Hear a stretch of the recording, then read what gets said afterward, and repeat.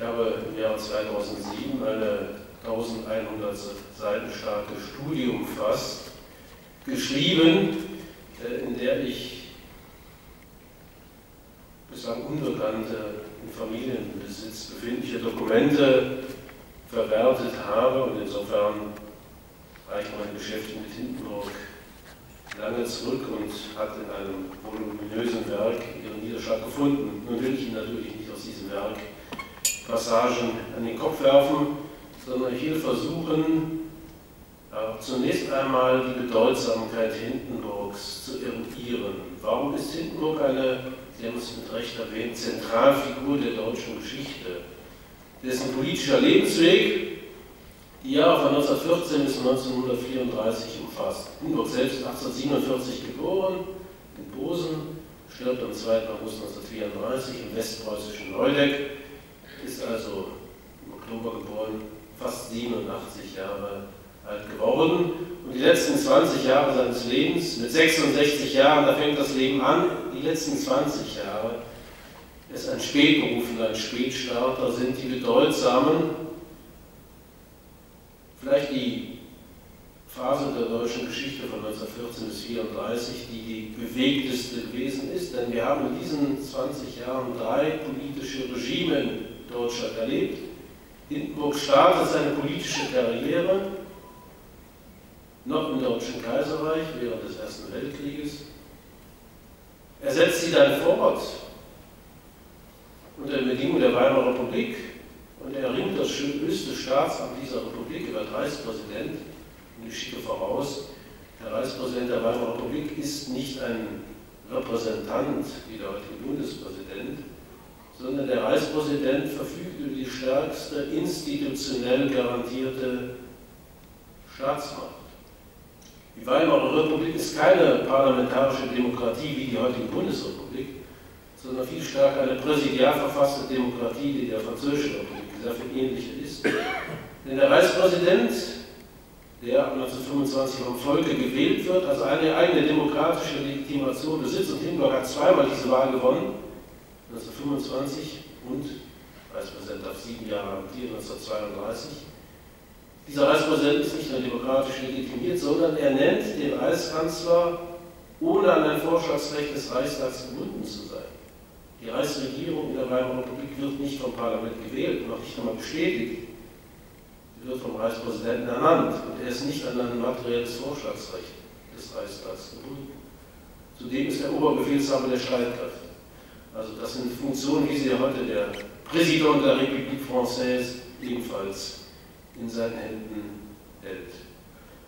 Und das dritte politische System, das er nicht ganz unmaßgeblich in die Wege geleitet hat, als er am 30. Januar 1933 in seiner Eigenschaft als Präsident der Weimarer Republik auf eine formal völlig legale und verfassungsmäßige Weise den Führer der stärksten politischen Kraft in Deutschland, den Führer der nationalsozialistischen Deutschen Arbeiterpartei Adolf Hitler zum Reichskanzler ernennt, der dann innerhalb weniger Monate eine Diktatur errichtet, ohne dass Hindenburg dagegen interveniert dass Hindenburg drei politischen Systemen gedient hat, dem Deutschen Kaiserreich, der Weimarer Republik und dem nationalsozialistischen Deutschland. Das macht die Figur besonders interessant, ist der einzige Politiker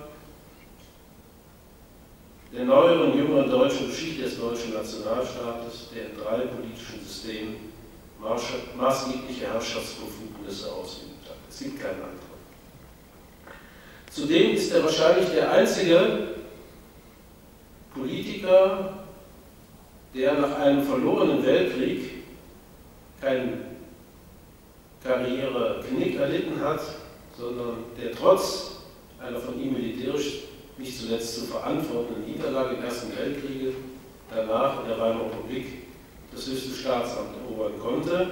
Und er ist, damit will ich beginnen mit dem Militär Hindenburg, der einzige, nein, der erste Politiker der Weimarer, der erste Politiker der jüngeren deutschen Geschichte seit 1871, der sozusagen von einer, seiner militärischen Herkunft der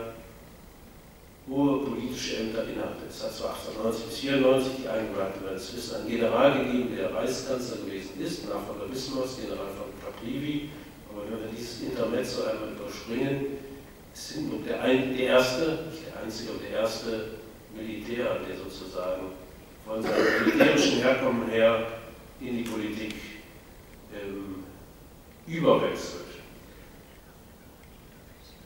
Das eine oder andere, was ich Ihnen präsentieren werde, wird vielleicht den einen oder anderen, wird dem einen oder anderen neu vorkommen, vielleicht auch irritieren. Ich bin kein Bilderstürmer, kein Revoluzer. Alles, was ich hier sage, kann ich natürlich belegen, und zwar x-mal. Ähm, das mag auch deswegen verstörend wirken, möglicherweise, äh, weil hier ein Bild gelegentlich dekonstruiert wird, das Hindenburg selbst geschaffen hat. Hindenburg war ein Meister der Geschichtspolitik. Es gibt keinen Politiker der deutschen Geschichte, der es geschafft hat, zu seinen Lebzeiten, abgesehen von ein paar randständigen Kritikern wie Ludendorff, Sakrosanz zu werden, der es geschafft hat, zu seinen Lebzeiten zu einem Denkmal zu werden, der es geschafft hat, sich geschichtspolitisch zu panzern und auch die Geschichtswissenschaft selbst ist lange diesen Selbstäußerungen Hindenburgs erlegen, was auch daran liegt, dass Forschung, die Weimarer Republik auch lange meinte, dass der Präsident gar nicht wichtig sei. Hat die zentrale Rolle dieses Amtes verkannt und erst in den letzten 10, 12 Jahren hat man die präsidiale Komponente der Weimarer Republik wiederentdeckt. Wir beginnen also vielleicht mit einer gewissen Dekonstruktion, nicht um der Lust an Dekonstruktion willen, sondern um einen archimedischen Punkt hier zu kreieren, von dem aus man das politische und militärische Wirken Hindenburgs besser erfassen kann. Auf den ersten Blick scheint es, als sei Hindenburg ein klassischer Konservativer gewesen. Das Urbild des preußischen Konservatismus, er ist adelig, er ist in Posen geboren, in Neudeck gestorben, also sogar im Osten Preußens äh, hat er den Anfang und das Ende seines Lebens verbracht er scheint ein treuer Diener des Monarchen gewesen zu sein und sein Wahlspruch lautet, die Treue ist das Mark der Ehre.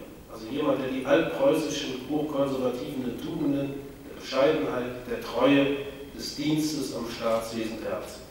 Das ist die Selbstzuschreibung und die ist sehr geschichtsmächtig gewesen.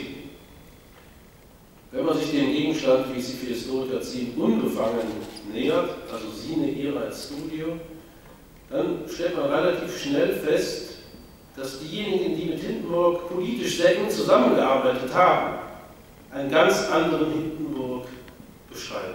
Einen ganz anderen Hindenburg. Ein Hindenburg, der in einem fast sehr modernen Sinne Politik betreibt, in dem Sinne, dass er politische Lebensabschnittsgefährten um sich versammelt, von denen er sich ohne Sentimentalitäten, ohne Treue trennt wenn sie überflüssig oder unnütz geworden sind.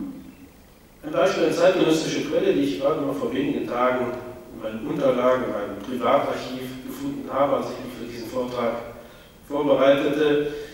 Eine der wichtigsten Gewährsleute, das sind keine Personen, die Hindenburg feindsinnig gegenübergestanden wären. Die wichtigste Person Zeugnis davon ist Heinrich Brüning. Heinrich Brüning ist Reichskanzler vom März 1930 bis zum Mai 1932 gewesen. Brüning war wirklich ein konservativer Katholik aus dem Münsterland, dazu ein eingefleischter Anhänger Preußens, Russophil bis ins Mark, Frontsoldat im Ersten Weltkrieg, im Herzen sogar Monarchist, jemand, der die preußischen Tugenden vorlebte, bescheiden, sparsam, dem Staatswohl dienend, absolut bedürfnislos. Und Brüning, der am 30. Mai 1932 von Hindenburg entlassen wird, und zwar in einer Art und Weise, die man nur als stillos bezeichnen kann. Ich will Ihnen das mal vorführen. Brüning hat zwei Jahre lang Hindenburg, gerade in der Außenpolitik, was die Operationsfrage anbelangt, äh, den Rücken freigehalten. Er hat die Pfeile auf sich gezogen, die unpopuläre Sparpolitik er war sozusagen der Bad Guy in der Öffentlichkeit. Er ist Hindenburg jetzt lästig, weil er den Ruck nach rechts nicht mitmachen will. Er will keine Regierung, in der die Nationalsozialisten eine starke Position innehaben. Deswegen muss er gehen und man muss sich von ihm verabschieden. Aber wie macht man das, wenn man jemanden demütigen will? Man legt den Termin an dem Tag, Ende Mai, an dem der Jahrestag der Skagerrak-Schlacht stattfindet. Das ist der 30. Mai. Und um 12 Uhr muss der Reichspräsident, das heißt Hindenburg, als Oberbefehlshaber, muss, zu, muss zuschauen, wie die Wache aufmarschiert. Also wird der Termin der Verabschiedung Grünes auf 11.50 Uhr gelegt, womit also sehr viel Zeit bleibt, äh, weil das Protokoll es gebietet, diesen Reichskanzler gebührend zu verabschieden.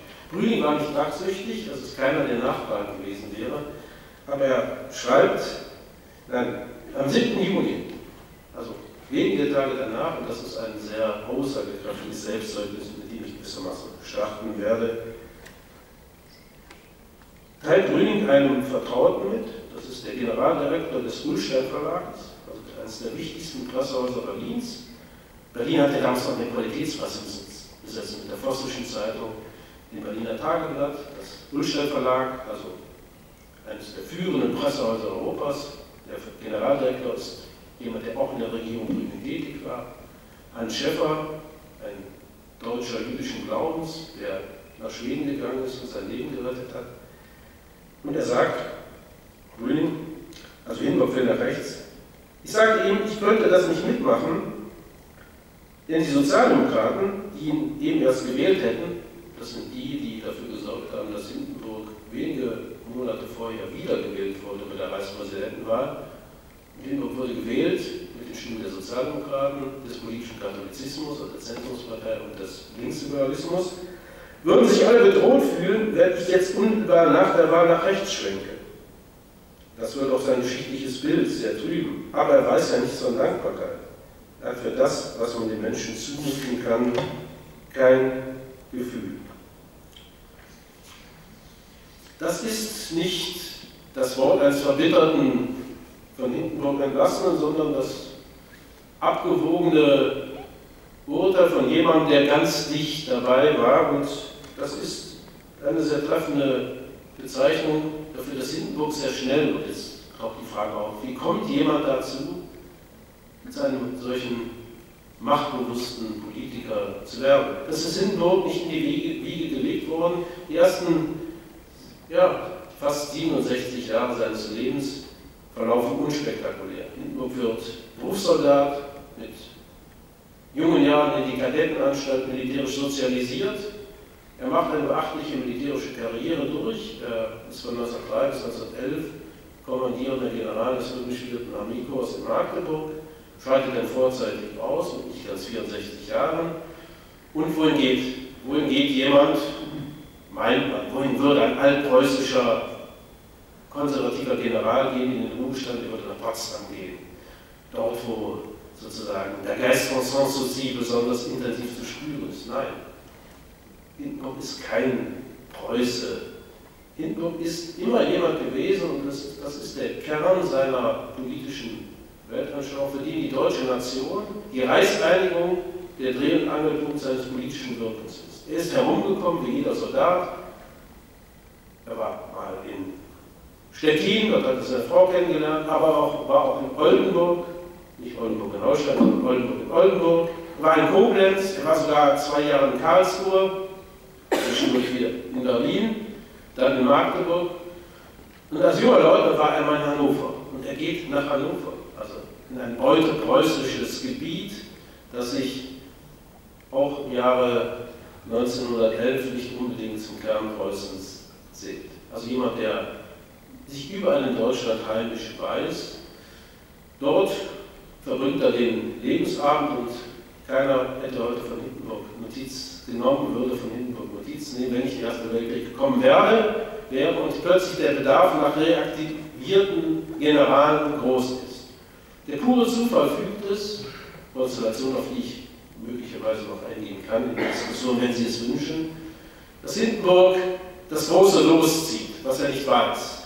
Das große Los besteht darin, dass die einzige deutsche Armee, die im Osten stationiert war, dass dort ein Führungswechsel notwendig wurde und ein neuer Oberkommandierender für diese 8. Armee gesucht wurde, und das war Paul von Hindenburg. Nicht, weil er als besonders militärisch brillant galt, als strategischer Kopf, nein, den strategischen Kopf hatte man schon, das war Ludendorff. Ludendorff war aber das Enfant terrible, es war jemand, der unkonventionell dachte, aber er war rangmäßig nicht so weit, dass er die Führung einer Armee übernehmen konnte. Und so dachte man an Hindenburg, Hindenburg, von dem, was sicher würde die Kreise Ludendorffs nicht stören, und genauso kam es. Das Gespann fuhr nach Elbing, nach Westpreußen und diesem Gespann gelang dann der bekannte Sieg Ende August 1914 bei Tannenberg, eine sozusagen nach dem militärwissenschaftlichen Lehrbuch erfolgende Schlacht, eine Vernichtungsschlacht nach dem Muster der Schlacht von Cannae. Das ist sozusagen militärwissenschaftlich die Krone, wenn Sie Gegner umfassen und eine gesamte Armee auf diese Weise ausschalten. Hindenburg hat an der militärischen Planung eigentlich keinen Anteil. Er hat den Plan gebilligt, er hat, den, hat dafür gesorgt, dass er nicht abgewandelt wurde. Und nun wird plötzlich, und das ist sozusagen das Erweckungserlebnis aus dem bis dahin unbekannten General, der in der deutschen Öffentlichkeit nicht verbreitet, dessen Image, dessen Name nicht verbreitet ist, der Sieger von Tannenberg. Hindenburg ist der einzige General, der sozusagen als Person sich eine solche siegreiche Schlacht zurechnen lässt, die in einer kritischen Phase des Krieges errungen wird. Und nun beginnt der märchenhafte Aufstieg eines unbekannten Soldaten zum Symbol der deutschen Nation. Das ist der eigentliche Kern, der politische Markt im Kern Hindenburgs, im Grunde auch bis 1933. Hindenburg Stärke liegt nicht daran, dass er als charismatischer Führer, als Redner, wie sein Amtsnachfolger im Amt des Staatsoberhauptes Adolf Hitler imstande gewesen wäre, Zustimmung, plebiszitäre Akklamationen zu generieren. Das konnte er nicht, das wollte er nicht. Aber Hindenburgs Stärke, sein politisches Pfand, war seine symbolische Fähigkeit, in einer Situation des Weltkrieges, in der in allen kriegführenden Staaten das Bedürfnis nach innerer Einheit und nach einem Gesicht, das die innere Einheit der Nation repräsentiert, groß war, dieses Bedürfnis auf seine Person zu projizieren. Das war in Deutschland deswegen dieses Bedürfnis nicht befriedigt, weil der Kaiser, der eigentlich für diese Position geeignet gewesen wäre, also Wilhelm II., denkbar ungeeignet war, symbolische Repräsentationsleistungen zu erbringen. Wilhelm II. war zu unstet, zu sprunghaft, hatte sich durch eine Reihe von unbedachten, auch Redeäußerungen selbst ins politische Abseits gestellt. Und nun kommt dieser unbekannte General und bringt vieles mit, was ihn in diese symbolisch privilegierte Rolle schlüpfen lässt. Was bringt er mit? Zum einen ist er der Sieger von Tannenberg und das führt dazu, dass Hindenburg ein Abonnement erhält auf Siege. Überall, wo die Truppen im Osten siegen und im Osten siegen sie, Hindenburg der Sieger, obwohl er nicht Warschau einnimmt, nicht nur, nicht nur Georgievsk einnimmt. Das sind wichtige Stationen im Jahr 1915. Aber in der Öffentlichkeit werden diese Erfolge allesamt Hindenburg attestiert. Er ist der der Sieger im Osten. Das ist das eine. Zum anderen bringt er von seiner Körperlichkeit sehr viel mit. Ein Mann, der zwar kein Riese war, er war aber 1,85 Meter groß, aber das war schon für damalige Verhältnisse überdurchschnittlich groß, eine kräftige Gestalt, eine sonore Stimme und ein Gesicht, das wie in Stein gemeißelt Ehrwürdigkeit, Autorität, eine milde väterliche Güte auszustrahlen schien, das war medientauglich. Sein Gesicht, seine Physiognomie strahlte Ehrerbietung aus, die ihm gewährt wurde. Also er war, würde man heute sagen, telegen. Er war jemand, dessen Konterfei medial sich rasant verbreitet und er war ein genialer, ja, in diesem Sinne genialer äh, Instinktpolitiker, dass er die Medienlogik damals durchschaute und er war überaus präsent. Hindenburg hat sich von der militärischen Alltagsarbeit in den vier Jahren weitgehend dispensieren lassen. Er hatte seinen treuen Apparat Ludendorff. Hindenburg hat repräsentiert. Hindenburg hat am Beispiel im Hauptquartier des Ostfeldzuges sehr viel Zeit damit verbracht, Abend, am Abend, nach dem Abendessen die zu ihm strömenden Journalisten, Maler, also alle die Multiplikatoren zu empfangen. Und jeder fragte sich, dieser vielbeschäftigte Mann, der hat Zeit für uns. Was für ein Privileg. Die allermeisten wussten gar nicht, dass Hindenburg immer so viel Zeit für die Multiplikatoren hatte, weil er wusste, dass die Pflege dieses Images wichtiger war als die militärische Alltagsarbeit, die er delegieren konnte. Jetzt lautet die wichtige Frage, wie kommt Hindenburg symbolisch unbeschadet aus einem verlorenen Krieg heraus? Denn Ende September 1918 leistet die militärische Führung in Deutschland ein Offenbarungseid. Es ist die militärische Führung, das Gespann Hindenburg und Ludendorff, und Hindenburg ist der ranghöchste Militär, ist Chef des Generalstabs des Feldheeres. Sie überfallen sozusagen die politische Führung, die aus allen Wolken fällt, weil die deutschen Truppen noch fast ganz Belgien erobert haben und weite Teile Nordfrankreichs, dass dieser Krieg verloren sei. Und in der Tat, er war verloren, nachdem die Verbündeten, das Osmanische Reich, Bulgarien, Österreich, Ungarn schon kapituliert hatten. Überfallartig müssen die Politiker, die jetzt parlamentarisch legitimierten Politiker, diese militärische Niederlage sozusagen ja, verantworten. Sie müssen den Waffenstillstand aushandeln. Und Hindenburg erweist sich hier, ich wiederhole mein Grundmotiv, als ein überaus begabter Machtpolitiker, denn mit der Einleitung der Waffenstillstandsverhandlungen erweist sich immer stärker die Person des Kaisers als Hindernis.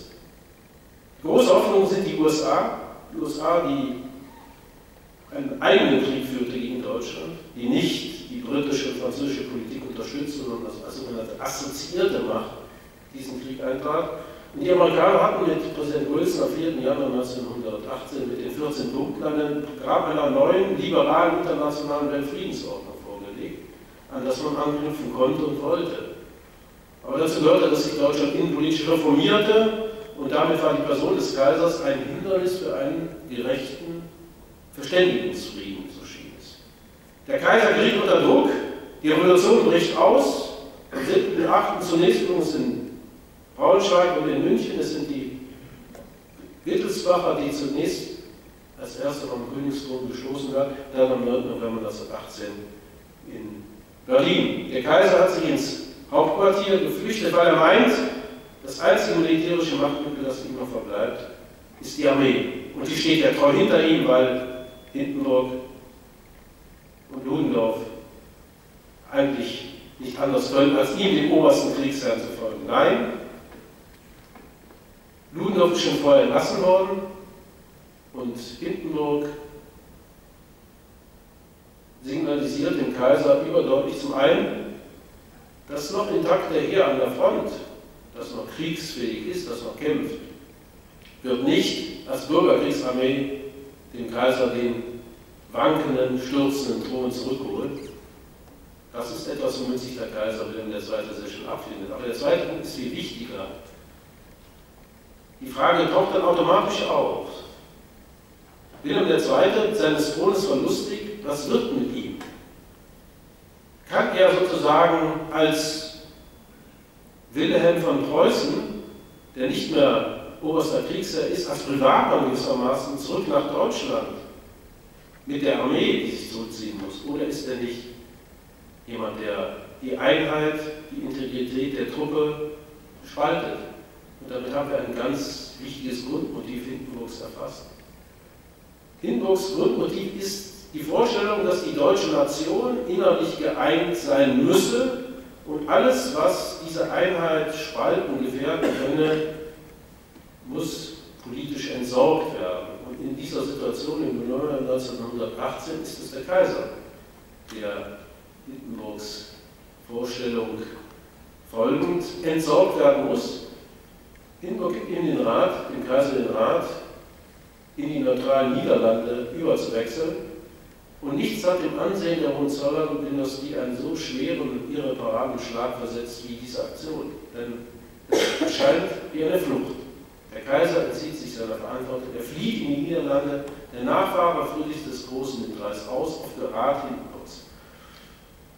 Ein kurzes Wort zum Geschichtspolitiker. Die Monarchisten, die diejenigen, die auch in Wilhelm II. weiterhin den legitimen Herrscher sagen, haben das natürlich relativ schnell herausbekommen und haben Hindenburg bohrende Nachfragen gestellt, was ist denn deine Rolle gewesen am 9. November 1918?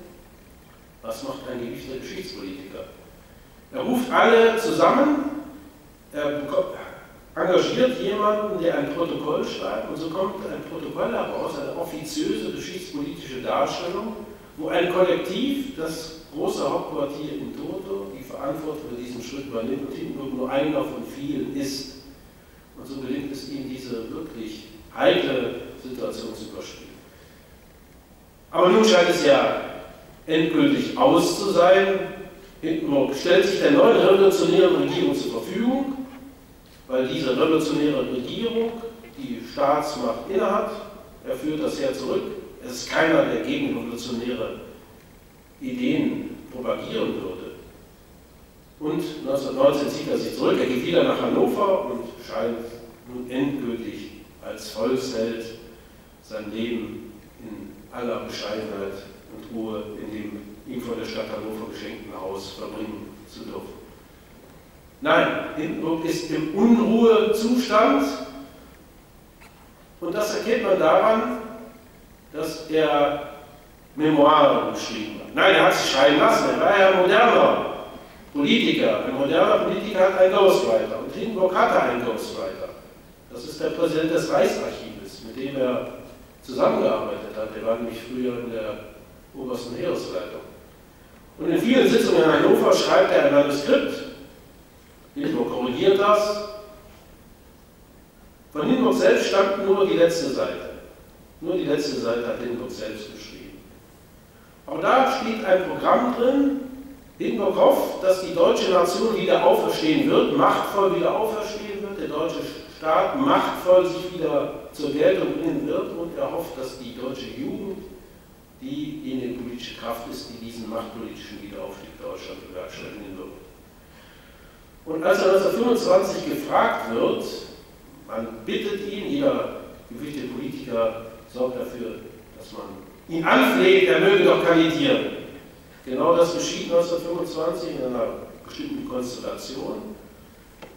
Diktiert Hindenburg die Bedingungen, geht ein gewisses Risiko ein, aber ihm kommt zugute, dass sein symbolisches Ansehen unangetastet ist. Entscheidend ist 1925, dass es ihm gelingt, einen erheblichen Teil des politischen Katholizismus für sich zu gewinnen. Und das geschieht, weil die Bayerische Volkspartei, wenn man so will, der Vorläufer der CSU, nicht für den Katholiken der Schwesterpartei Zentrum stimmt, das wäre so, als wenn sich die CSU für einen anderen, nicht von der CDU gestellten Kanzlerkandidaten entscheiden würde, sondern für Paul von Hindenburg. Also der Protestant, der ein treuer Sohn seiner Kirche war, wird von der Bayerischen Volkspartei, die den katholischen Bevölkerungsteil Bayerns, vor allem der ländlichen Region repräsentiert, als Kandidat akzeptiert. Und das ist ausschlaggebend dafür, dass er mit knapper und doch relativ komfortabler Mehrheit gewählt wird. Was will Hindenburg als Reichspräsident?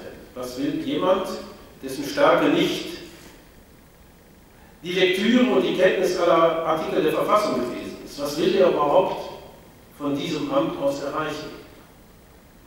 Der Grundthema ist, die Nation innerlich einigen, um sie nach außen zu kräftigen, damit Deutschland wieder ein machtvoll auftrumpfender Machtstaat wird. Dazu hofft er, kann er mit den Mitteln des Präsidialamtes zum einen integrativ wirken, aber zum anderen, und das ist der wichtige Punkt, schwingt in seiner Vorstellung von innerer Einheit der Nation immer mit, dass es bestimmte Gruppen gibt, die diesem Projekt der inneren Einheit der Nation entgegenstehen und dass man diese Gruppen politisch ausschalten müsse, deren, Aus deren Einfluss begrenzen müsse. Und das sind für Hindenburg diejenigen Kräfte, die, wie er meint, nicht der Nation dienen, sondern internationalen Idealen opfern. Das ist die Partei des demokratischen Sozialismus, die Sozialdemokratie, die er dieser Tendenzen besichtigt, die Kommunisten, die in der Tat deutschen Kommunisten der verlängerte Arm Moskaus gewesen sind, aber auch der politische Katholizismus ist für ihn letztlich eine national unzuverlässige Kraft, weil sie Rom dient und nicht den deutschen Interessen. Und das ist auch ein wesentlicher Grund dafür, warum man sich von Reichskanzler Brüning, der aus dieser politischen Ecke kommt, 1932 trennt. Und das erklärt auch, und damit sind wir am Punkt, als 1930 sich die Staatskrise in der Weimarer Republik zuspitzt, die Staatskrise spitzt sich zu, ein überaus komplexes Thema, ich könnte Ihnen das, könnte Ihnen das in allen verfassungspolitischen Details aufdröseln, aber das wäre wahrscheinlich zu komplex, ich kann das gerne auf Nachfrage tun, aber es ist möglicherweise zu spezialistisch. Lassen Sie mich vielleicht nur zwei Punkte nennen. Der erste Punkt ist folgender. Die Reichstagswahlen vom 14. September 1930 führen dazu, dass die nationalsozialistische Deutsche Arbeiterpartei unter Adolf Hitler plötzlich in eine Schlüsselposition der deutschen Politik gerät. Sie gerät dort hinein, weil sie bei Wahlen Erfolg hat. Die deutschen Wähler in freien, gleichen und geheimen Wahlen, die deutschen Wählerinnen und Wähler, haben die NSDAP aus dem Stand heraus mit 18,3 Prozent zur zweitstärksten politischen Kraft gemacht. Der Siegeszug dieser Partei geht weiter, 1931 bei Landtagswahlen und 1932 bei der Reichstagswahl am 31. Juli 1932 erreichte die NSDAP 37,4 Prozent der abgegebenen Stimmen. In den ländlich-protestantischen Regionen, nicht zuletzt in Schleswig und Holstein, ist die Partei überproportional stark vertreten, das weiß man. Die Wahlanalysen sind eindeutig. Das Schleswig-Holstein ist nicht die absolute Hochburg. Der Wahlanteil liegt über 50 Prozent. Die absolute Hochburg, das nur, damit Sie vielleicht äh, ein bisschen politische Geografie in Deutschland betreiben, das ist Westmittelfranken. Das ist Neustadt an der Aisch, Rotenburg ob der Tauber, da liegt der Anteil bei 80 Prozent. Das sind geschlossen evangelische, mittelbäuerliche Gebiete macht insgesamt 37,4 Prozent. Die NSDAP ist stärker als die zweit- und drittplatzierte politische Kraft, also SPD und Zentrumspartei, zusammen. Und das führt zu einer überaus schwierigen verfassungspolitischen Lage. Für eine Demokratie ist es der Worst Case. Wenn der Appell an den Wähler dazu führt, dass in den Parlamenten die Todfeinde der Demokratie, zumindest der liberalen Demokratie, das Sagen haben. Denn die Kommunisten haben 14 Prozent bekommen, NSDAP und KPD haben seit 1932 die absolute Mehrheit der Mandate. Sie sind sich spinnefeind, aber in, der, in dem Hass auf die liberale Demokratie, in der Anbetung der Gewalt, stehen sie sich keinen Deut nach. Das ist eine überaus schwierige Lage und nun kann man das Agieren Hindenburgs natürlich, muss man zu einem Gutteil erklären aus dieser verfassungspolitischen Sackgasse. Wir haben eine Lähmung der Institutionen. Reichstag und Reichsregierung stehen sich konträr gegenüber. Wen soll der Reichskanzler als Regierungschef einsetzen? Nur doch Nationalsozialisten und Kommunisten den Reichstag nominieren. Das ist aber nur der eine Teil, der zählt. Der andere Teil ist aus meiner Sicht mindestens genauso wichtig. Es ist nämlich die Frage, gibt es politische inhaltliche Übereinstimmung zwischen dem Projekt der Nationalsozialistischen Deutschen Arbeiterpartei und dem Projekt Hindenburgs. Das Projekt Hindenburg ist die innere Einheit der Nation, da gibt es den Begriff der Volksgemeinschaft, das ist ein Begriff, der im Ersten Weltkrieg geboren wird, den die Nationalsozialisten dann aber relativ erfolgreich für sich okkupieren. Was wir haben, sind die Besprechungen zwischen Hitler und Hindenburg, von denen hat es fünf gegeben 30. Jahr 1933. Also Hindenburg hatte genügend Gelegenheit, Hitler mehr als nur zu schnuppern. Und wenn Sie immer lesen, das sei für ihn nur der böhmische Befreite gewesen, dafür gibt es keine einzige belastbare Quelle. Böhmen, ja, es gibt ein Braunau in Böhmen, das hat Hindenburg 1866 erlebt, als er Krieg gegen Österreich führte. Aber wenn Sie etwa die erste Begegnung zwischen Hitler und Hindenburg nehmen, am 10. Oktober 1931, das Protokoll ist jüngst aufgetaucht, findet sich nicht in den offiziellen Dokumenten, sondern an erlegener Stelle, dann werden Sie finden, dass Hitler in den Augen Hindenburgs jemand ist, der respektabel ist und der für Regierungsämter in Frage kommt, unter der Voraussetzung, das ist entscheidend, dass er zu den Bedingungen Hindenburgs sich auf ein Arrangement einlässt. Solange Hitler versucht, im Alleingang an Hindenburg vorbei an die Macht zu kommen, solange wird er von Hindenburg zum Teil auch brüsk abgewiesen. Das sind zwei Versuche, die Hindenburg startet, Hitler startet. Zum einen will er selbst Reichspräsident werden, ganz klar. Wenn Hitler Reichspräsident geworden wäre, dann hätten wir schon 1932 eine nationalsozialistische Diktatur, die sogar viel schneller und viel radikaler durchgesetzt worden wäre. Hitler und Hindenburg kandidieren gegeneinander. Hitler erreichte etwa 37 Prozent, die er dann bei den Wahlen ein paar Monate später bekommen wird. Das ist ein gewaltiger Erfolg für jemanden, der ein paar Jahre vorher noch ein Nobody war. Hindenburg gewinnt nur, und das ist der Punkt Grünings, weil Sozialdemokraten, Zentrumsleute und Liberale unter dem Motto, der Einzige, der Hitler schlagen kann, ist Hindenburg. Das ist die Wahlfrage. Grüne. Grüne wusste, der Einzige, der Hindenburg schlagen, der Hitler schlagen kann, ist Hindenburg. Wir müssen sozusagen eine Anti-Hitler-Allianz bilden. Aber Hindenburg hat nicht vor, sieben Jahren im Amt zu sein. Ist für sieben Jahre gewählt worden. Hindenburg kandidiert nur, um seine Nachfolge in seinem Sinne regeln zu können. Hitler will selbst den Übergang bestimmen. Hindenburg will selbst den Übergang bestimmen und deswegen will er nicht, er will sich nicht beiseite bringen lassen. Hindenburg ist ein überaus machtbewusster, herrschaftsbewusster Politiker, der lässt sich nicht beiseite schieben, der will die Hoheit über seine Entscheidungen behalten. Und die Hoheit behält er, er ist körperlich altersbedingte Einschränkungen vorausgesetzt, überaus rüstig für sein Alter. Noch 1931 jagte er im Hochgebirge Niedramszell Gemsen als fast 84-Jähriger und er ist bis zum Sommer 1934 im Vollbesitz seiner geistigen Kräfte und er ist jemand, der befehlen kann. Sie werden nicht General, wenn sie nicht befehlen können. Ein Softie wird kein General.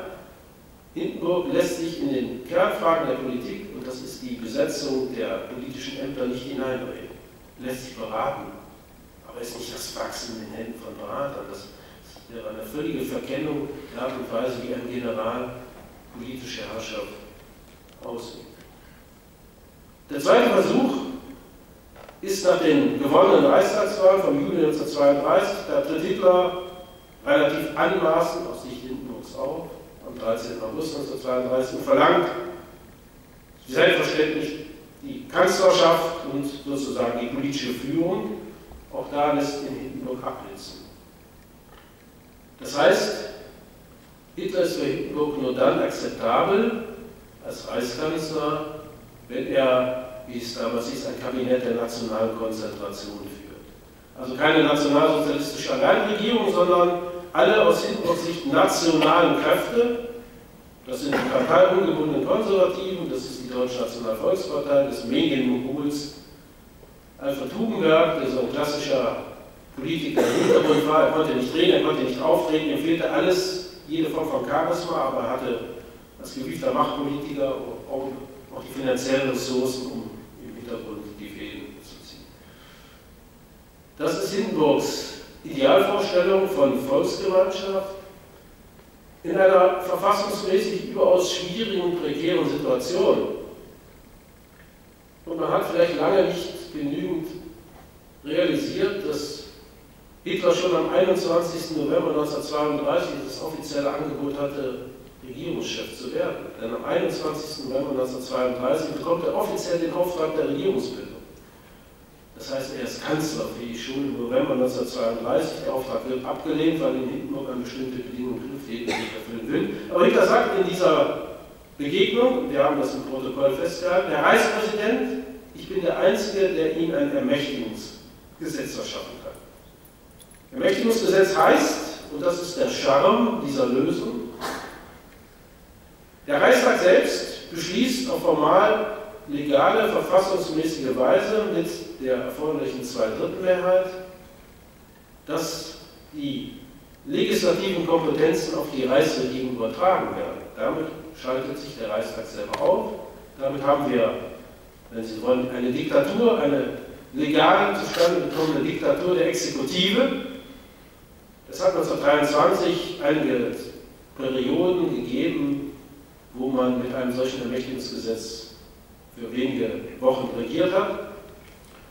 Und ein solches Gesetz, damit sind wir bei Hindenburg, hat den großen Charme, dass es den Reichspräsidenten nicht der Gefahr eines Verfassungsbruches aussetzt. Hindenburg bricht nicht die Weimarer Verfassung, wenn er eine Situation schafft, die ein solches Ermächtigungsgesetz ermöglicht. Und der zweite wesentliche Aspekt für Hindenburg, er kann damit, und das ist für ihn mindestens genauso wichtig, dafür sorgen, dass sein politisches Denkmal zu seinen Lebzeiten nicht angekratzt wird, nicht bröckelt.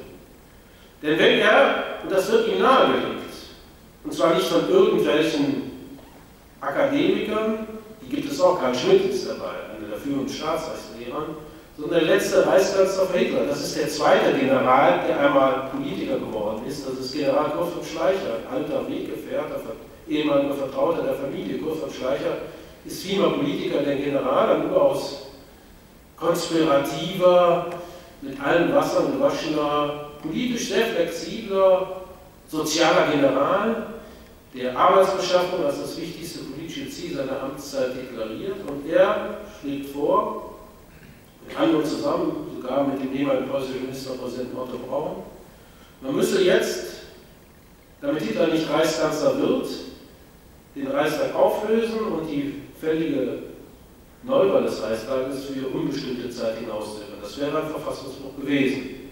Aber die dahinterstehende Idee ist, man kann den Rechtsstaat, den Verfassungsstaat gegen Hitler nur retten, wenn man für eine Zwischenlösung, für eine befristete Zeit den Buchstaben der Weimarer Verfassung bricht, wenn man bestimmte Artikel der Weimarer Verfassung ignoriert, denn sozusagen ein Verfassungsrigorismus würde Hitler, der immer noch in einer parlamentarischen Schlüsselrolle sich befindet, in die Hände spielen. Also es hat diese Lösung gegeben.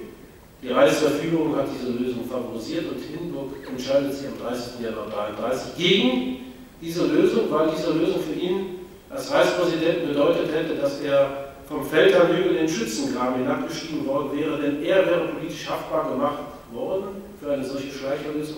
Er hätte sein persönliches Prestige und die Autorität des Amtes in die Waagschale werfen müssen. Und das hätte bedeutet, dass er sich heftigsten Angriffen, gerade der Nationalsozialisten, die ja schon Munition gegen ihn gesammelt haben. Natürlich wussten sie um die Leichen im Keller Hindenburgs. Sie hatten auch einen in ihren Reihen, der darauf geradezu heiß war, Hindenburg den 9. November 1918 heimzuzahlen. Das ist der zweitälteste Sohn des Kaisers, August Wilhelm. August Wilhelm war SA-Mann, seit 1930 Redner für die NSDAP, seit 1932 neuer Landtagsabgeordneter. Also sie hatten selbst bei den Hohenzollern und bei anderen ehemals fürstlichen Familien durchaus Personen, die, die wussten, dass es mit der monarchischen Treue Hindenburgs nicht so weit her war. So ist also der 30. Januar 1933 aus Hindenburgs Sicht der Versuch, eine für ihn charmante Lösung zu installieren, die darin besteht, die Verfassung wird nicht gebrochen, der Anführer der stärksten Partei wird zum Reichskanzler ernannt, mit der Kondition, dass der Reichstag sofort aufgelöst wird, das geschieht zwei Tage später, dann finden Neuwahlen statt, und die Neuwahlen sollen der NSDAP einen großen Erfolg bringen, denn es soll ja eine verfassungsändernde Zweidrittelmehrheit im Reichstag erreicht werden. Das bedeutet, dass die NSDAP zum ersten Mal mit Hindenburg als Wahlkampfschlag an die Reichstagswahl vom 5. März 1933 gehen kann. Der Reichspräsident Hindenburg stellt sein Prestige und sein Amt gleichermaßen Hitler zur Verfügung. Das Ergebnis ist, dass die NSDAP am 5. März 1933 bei diesen letzten noch halbwegs freien Wahlen waren insofern frei, dass man einen Stimmzettel abgeben konnte, dass nicht manipuliert wurde, dass man in der Wahlkabine wirklich frei seine Stimme abgeben konnte. 43,9% der Deutschen haben sich entschieden für den NSDAP. Der NSDAP hat besonders stark zugelegt in Bayern mit 16% in Oberbayern, in katholischen Gebieten, wo man sehr genau darauf achtete, was Hindenburg gewissermaßen als Wahlempfehlung indirekt abgegeben hatte. Wir wissen alle, dass dann am 23. März 1933 auf eine formal legale, verfassungsmäßige Weise das Ermächtigungsgesetz verabschiedet wird. Und nun kann sich Hindenburg zurückziehen. Hindenburg zieht sich zurück, er lässt sozusagen die Befugnis des Reichspräsidentenamtes ruhen.